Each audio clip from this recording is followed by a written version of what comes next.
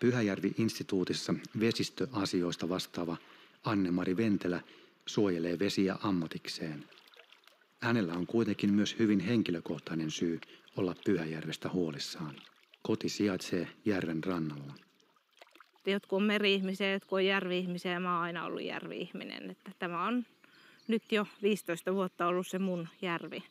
Ja, ja itse jotenkin koen, että myöskin se on sitten mun tehtävä sitä nyt tässä pelastaa. Että varmaan vähän liiankin henkilökohtaisesti koen aina sitten, kun se oireilee tai käyttäytyy huonosti, niin ikään kuin mä pystyisin siihen itse jotenkin vaikuttamaan tai olisin siitä vastuussa.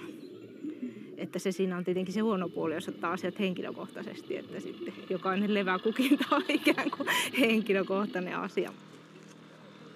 Pyhäjärven suojelussa on haettu mallia Afrikasta asti. Kehitysyhteistyön tekijät ovat huomanneet, että parhaaseen lopputulokseen pääsemiseksi paikallisten ihmisten on saatava itse vaikuttaa asioihin, osallistumaan päätöksiin. Se ei onnistu käskemällä, vaan kuuntelemalla ja keskustelemalla. Samaa periaatetta on noudatettu menestyksekkäästi Pyhäjärvellä.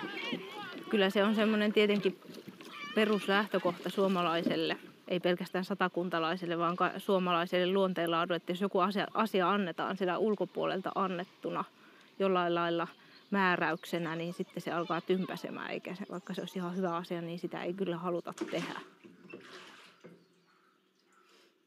Ilmaston lämpeneminen aiheuttaa uusia uhkia Pyhäjärvelle.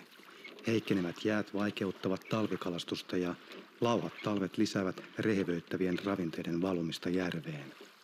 Talvisia ravinnepäästöjä on lähes mahdotonta estää suojakaistojen ja muiden perinteisten konstien avulla. Anne-Mari Ventelän mielestä uhkaa ei olla otettu riittävän vakavasti. Se koskee eniten Etelä-Suomea ja Lounais-Suomea, koska täällä ne talvet on jo muuttunut. Että sen on, on 2000-luvulla ollut, ollut monta talvea niin, että, että keskilämpötila niinä talvikuukausina onkin plussan puolella eikä miinuksella. Silloin kun valuma-alueen kuuluisi olla lumen peittämä ja jäässä, niin näin ei ole.